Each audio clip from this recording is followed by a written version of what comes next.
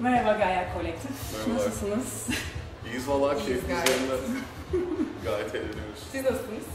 Biz de gayet iyiyiz. Bugün Sizi sergi açılıyor. ağırladığınız için çok mutluyuz. Biz de bizi aradığınız için çok memnun ve çok mutluyuz. Teşekkürler her şey için.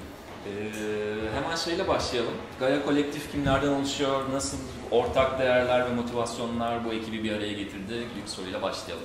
Ee, Gaye Kolektif şu an e, ben, yani Perham, Simay, Mertcan, Bengi, Işıl ve Uzay'dan oluşuyor şu anki kadrosunda. Ee, ekibimizde değişiklikler yaşandı e, aktif olduğumuz süre boyunca ama bu kadro her zaman vardı ve şu an bu kadro olarak devam ediyoruz. Ee, hepimiz böyle işte müzikle, görsel sanatlarla, fotoğrafçılıkla falan filan ilgileniyoruz. Ve bayağı eğlenceli bu yaptığımız şeylerimizi bir araya getirmesi vesaire. Aslında bir sonraki sonu, sorumuz da bununla alakalı olacaktı biraz. Ee, Gaia Kolektif'in üretim alanına hangi disiplinler dahil oluyor? Nasıl çalışmalar yapmayı düşünüyorsunuz şimdi ve gelecekte? Yani e, dediğim gibi hani şey, yani bizim ekip full işte müzisyenlerden, işte görsel sanatçılardan, işte fotoğrafçılardan vesaire falan oluştuğu için şu an bu e, disiplinlerde faaliyet gösteriyoruz ama bence ya benim şahsi yorumum ileride eğlenceli olurdu diğer farklı disiplinlere falan filan da yer atmak. Bayağı Yani tatlı olurdu. Hepimiz sanatçı değiliz ne yazık ki. Ee, Ben sanatçı kimliğim asla yok. Ee, Daha çok 60 yaşındaki bir evde oturup örgü örüyorum ben düzenli olarak. Ee, Ama daha çok ilgilendiğim alanlarda yapmak istediğim şeyleri bitirebildiğim için istediğim gibi galiba o yüzden galiba ben daha. Aynen öyle. Sürekli de büyüyoruz zaten yani.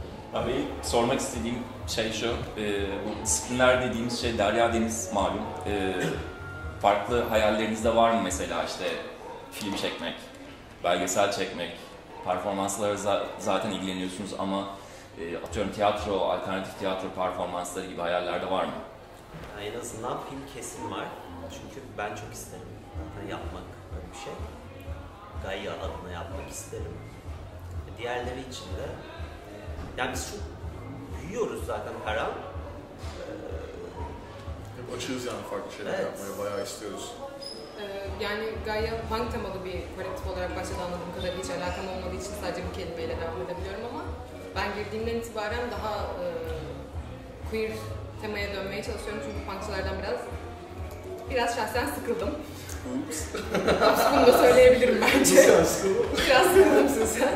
O yüzden daha queer temaya dönmeye çalışıyorum. İşte e, direkt performansçılarını dahil etmek istiyorum artık e, kolektifimize. Aynı şekilde seçtiğimiz DJ'lerin sadece bu heteronormatif alandaki insanlarla oluşmaması için uğraşıyorum. Benim genel olarak hayatlık görevim bu oluyor galiba şu an.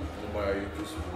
Teşekkürler. Bir sonraki sorumuza aslında bir yataklık yaptı bu cevap. Ee, Gaia Kolektif nedir? Neden Gaia? Ee, ortak amacınız nedir? Niçin bir araya geldiniz? Bu kolektifin e, sıvası nedir? Şimdi şöyle, Gaye Kolektif, bu sefer birazcık geriye giderek cevap vermem gerekirse, Gaye Kolektif'i 2019 yılında biz bir rap konseri düzenleyerek aslında ilk fikrini vermiş olduk falan. O zamanki rap sanatçıları şey oldu yani bu etkinliği yapıyoruz evet ama bunu sunan bir oluşum olsa işte bununla ilgili bir şeyler yapsak falan güzel olmaz mı falan dediler. Ee, Ben en başta çok sıcak bakmıyordum ama daha sonrasında mantıklı bir fikir gibi geldi. Sonrasında işte o konseri yaptık. Böyle birazcık daha devam ettik ve böyle pandemi girdikten sonra konser falan filan yapmak zorlaşırken böyle benim aklıma birden hani hem müzikli hem sergili bir şey yapmanın bayağı güzel olacağı falan geldi. Daha sonrasında onu yaptıktan sonra ve daha sonrası işte Bengi ile Mertcan, İsmail'le vesaire tanıştıktan sonra hani zaten e, doğal bir şekilde bu şu an olduğu şeye doğru evrilmeye başladı. E, böyle diyebilirim bununla ilgili. İsminin anlamını ediyoruz. Gaia, Gaia e, cehennemde bir kuyu. E, ismi bize e, Ferit Zolar buldu. Kendisi Gulyabani adında rap yapıyor. Teşekkür ederiz kendisine de. Cehennemde bir kuyu. En başta buna başlarken işte hepimiz böyle çok sert, böyle karanlık rap müzik falan sevdiğimiz için e, ve hani böyle rap müziğin içindeki o punk e, hissini falan filan da yakın hissettiğimiz için baya böyle birazcık haşin bir e, isim, haşin bir tema. İşte afişlerde falan filan ilk etkinliklerde böyle biraz daha ya da işte sergi konseptlerinde ilk iki sergide falan biraz daha böyle buna oynamaya falan çalıştık. Böyle hissettiğimiz için. Aslında birazcık şey gibiydi de. Hani böyle bir şey yapıyoruz, içimizde bir enerji var. Böyle o enerjinin içerisinde ufak da tatlı bir böyle şımarıklık var ve hani en sert şekilde, en iyi bir deneyime çevirecek şekilde yapmak istiyorduk bunu. O yüzden Gaia ismi ve işte şu ana kadarki yaptığımız şeyler oldu diyebilirim. Yani dediğim gibi bayağı doğal bir şekilde ilerliyor çünkü. Herkes ne istiyorsa onu yapıyoruz yani ortak paydada. O zaman Gaia'dan Arcade'e geçiş yapacak olursak, bu an yani bugün düzenlediğimiz açılışı yapılacak olan ve bir hafta sürecek olan Arcade e, nereden geliyor? Bu sergiyi yapmaktaki amacınız neydi ve Ee, bu şey, sergide ne tür işler bizi bekliyor? Ee, tabii bunu ben cevaplayayım. Ee, bu sergiyi şu an aramızda değil ama Bengi e, bakmak isterseniz tanıdığım en iyi fotoğrafçılardan biridir. Workshare adında arayabilirsiniz Instagram'da. kesinlikle öğretin. Ee, Arcade sergisinin hatta Arcade haftasının küratörleri, organizatörleri e, ikimiziz. Simay ben bu arada tanıtmadım kendimi hiç. ee, Arcade şöyle bir noktadan çıktı. Ee, ben aslında Gaia'ya Akşam Sendeyiz Kraliçe adında bir direkt performansı şovuyla girmek istedim. Ee, Sint adında bir arkadaşımla, o da inanılmaz bir sanatçı Cynthia. Ee, Akşam Sendeyiz Kraliçe adında bir, bir şov düzenlemek istedik ama ne yapabileceğimiz hakkında, organizasyon hakkında hiç fikrimiz yoktu. Parham'ın yanına böyle yaklaştım. Ee, daha sonra Parham'da gayet iyi iş yapabildiğimi görünce aslında e, Gaia'ya davet etti. Ben de böyle girdim. Bu akşam sendeyiz kraliçeyi aslında biraz dönüştürerek şu an Arcade'i oluşturmuş olduk. Ee, Karga'da 19'unda e, Kokoşlar Konseyi ile birlikte Bayanlar Matinesi adında bir direkt show'umuz olacak. Ona da bekleriz herkese. Dün şarkı falan. Ee, dün Şahika'daydık aynı şekilde. Ee, 10 Aralık'ta Şahika'da bir sanat pazarı oluşturduk. Yine tamamıyla Lübnan sanatçılarının işlerinden oluşan bir sanat pazarıydı. Akşamında 3 tane inanılmaz diyeceğimiz ve 2 tane inanılmaz e, club kidimiz bizimle birlikteydi. Böyle bir parti oluşturduk. Gelen herkes de bence çok memnundu. Keşke ben de orada olsaydım. Keşke. Ee, şey Arcade haftası dediğim gibi bu akşam Sendeyiz Kraliçe'den çıktı biraz. Böyle bir sergi oluşturmak istiyordum çünkü ne kadar sergiler veya konserler yapılsa da Lübnan sanatçıları tam olarak bir yer verildiğini düşünmüyorum şu an sanat dünyasında en azından Türkiye içinde. Ve bunu sağlamayı çok istiyorum. Çevreme, kendime bu e, olanağı sağlamak gerçekten hayatımda en passionate olduğum işlerden bir tanesi. Arcade böyle çıktı. Ee, Arcade ismini de şöyle belirlemiştik aslında. Arkadaşlarımızla hep aramızda dalga geçtiğimiz bir konu vardı. Hayatımızdaki kararları biz vermiyoruz. Bulunduğumuz alan, ailelerimiz, e, kararlarımız sadece bize kalmıyor. Birileri bir karar veriyor ve biz buna göre hareket ediyoruz mantığında. Böyle küçük şakalar yapıyorduk kendi aramızda. Ee, daha sonra biz de gaye olarak etkinliklere isim bulmaya çok kötüyüz. çok kötü isimler geliyor ilk başta. Gerçek yani. Daha sonra bu simülasyondan işte bir oyun içindeyiz. Bizi insanlar hareket ettiriyordan Arcade ismini çıkardık aslında. Biraz böyle ilerledi. Bayağı tatlı bir isim. Arcade ilk günlerden çünkü daha önce düzenlenecekti. Bir takım badireler atlattınız ki Evet. zaten İstanbul'da alt kültür hayatında çok e, sıklıkla rastlanan olumsuzluklar, aksaklıklar e, biraz bugüne getirdi sizi diye bir giriş yapmak istiyorum. Biraz da buradan ve Bantmeg'le yolunuzun nasıl kesiştiğinden bahsederseniz çok seviniriz. Ee, tabii dediğimiz gibi küçük de olsa badireler atlattık. O yüzden sergimizi ertelemek zorunda kaldık ki.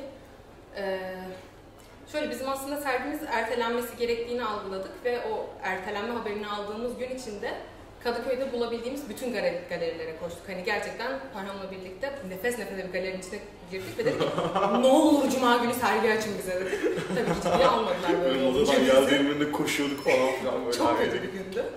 Ee, böyle olunca ertelemeye karar verdik. Ee, genel olarak hoşuma giden, işlerini beğendiğim galerilere mail attım teker teker. Bankbank bize dönüş yaptı. Çok teşekkür ederiz bunun için de. O gün de Gayet- çok tatlı bir gündü. Gerçekten Nokta etkinliğimiz gündü. vardı. Böyle maili gördük falan bayağı sevindik. Gerçekten Bayağı öyleydi. Çünkü Gaye Kolektif küçük başlamış bir yer ki benim yani şu anda 6 kişiden oluşuyoruz. Hala küçük bir kolektif. O yüzden Bankbank gibi büyük bir oluşumun bize yer vermesi inanılmaz onur edici bir hareketti. Çok sağ olun. Ee, bunun dışında sorunun devamını unuttum. Bence harikaydı. Tamamdır, devam edelim. Ee, peki yakın geleceğe dair planlarınızdan ve hayallerinizden biraz bahsedelim mi? Ee, yakın geleceğe dair şu an böyle e, yani bu ay içerisinde ve gerçi aynı şu an Aralık ayındayız. Bayağı ay sonunda yıl değişiyor. Ya şu an önümüzde birkaç tane yerli ve yabancı gruplardan, ilk defa yabancı gruplarla böyle birkaç konser e, kurgumuz var böyle. Onları işte bahsetmek için doğru zamanı ve vesaire bekliyoruz. Bazı hala çözmemiz gereken detaylar var. Onun dışında da her sergide böyle daha farklı şeyler yapmak istiyoruz. Daha farklı üstüne koymak istiyoruz falan. Ee, ya daha öncesinden birkaç şeyden bahsetmiştik ama son 2-3 aydır o kadar bu arcade'in üzerine fokusluyuz ki bu bahsedemedik bundan. Bence işte e, bu serginin açılışını vesaire yaptıktan sonra onunla ilgili de çalışmalarımız sürecek ve en yakın zamanda kendimizi hazır hissettiğimizde süper bir sergiyle tekrar karşınızda olacağız. Böyle devam edecek diye düşünüyorum. Evet. Peki, e, Gaia'nın e, kalıcı olacağına dair umut ve heyecanlarınızın altında neler yatıyor? Sizi, siz İstanbul'da aktif olan bir kolektif olmayı nasıl deneyimliyorsunuz? Bunu ben e, Gaia Kolektif'teki bireysel deneyimimle eğer yorumlamam gerekirse şu ana kadar yani zaten DIY etiğiyle başladık. Hani gidip mekanlara, sanatçılara falan teker teker yazıp abi şöyle abi böyle diye hani böyle aslında tamamen ağızdan falan hallediyorduk ve hani ekipman eksiğimiz falan filan olduğunda da bunu da böyle arkadaşlarımızdan, eşten dosttan falan ayarlıyorduk. Böyle yaptığımız ilk iki sergide e, gün içerisinde hem DJ setler hem canlı performanslar oluyordu. Bunun için ben kendi stüdyo, işte arkadaşım olan eski stüdyodan böyle hoparlör falan getirdiğimi, başka yerden mikser falan kiralayıp bunları yaptığımızı hatırlıyorum. O yüzden aslında bunlar çok bize zorluk gibi gelmiyordu. Bunlar böyle daha çok bu etkinliği yapmak için yapmamız gereken şeyler olaraktı. Ve hani hepimizin motivasyonu ve hani cidden çalışması çok yerinde olduğu için bence bir zorluk hissetmedik.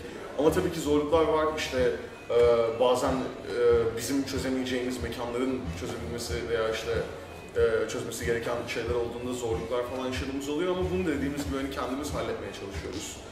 Ve hani sadece İstanbul'da değil, şu ana kadar bir kere e, İzmir'de bir konser de e, yapmıştık adına ve hani Türkiye'nin diğer şehirlerine falan filan gidip elimizden geldiği kadar daha fazla sanatçıyla, daha fazla müzisyenle vesaire buluşmak istiyoruz.